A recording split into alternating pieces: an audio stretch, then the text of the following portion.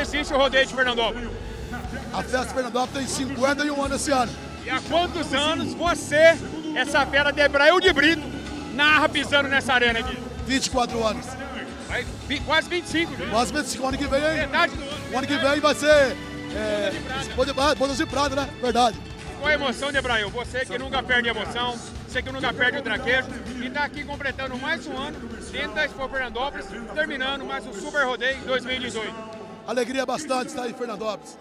De poder ver o meu povo, a minha gente, ver a minha família e ver o povo Fernandópolis. E mais um ano eu estou aqui com vocês dizer: eu amo você, Fernandópolis, eternamente.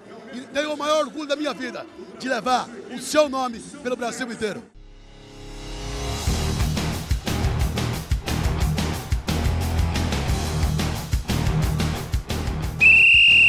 No croque? Tá no croque. Tá no croque, galera.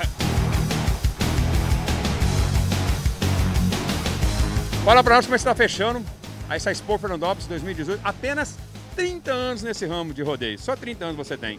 Exatamente. Muito obrigado pela oportunidade.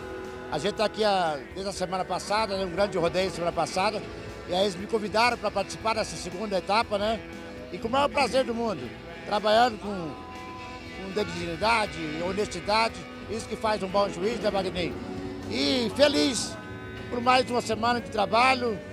Encerramento perfeito. Peãozada sensacional. Sempre eu falo que eu trabalho fiscal de break, mas eu não trabalho, eu venho assistir rodeio. Né?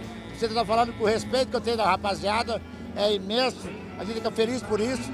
Eu venho ali, trepo ali, eu fico assistindo ele montar, apresentar.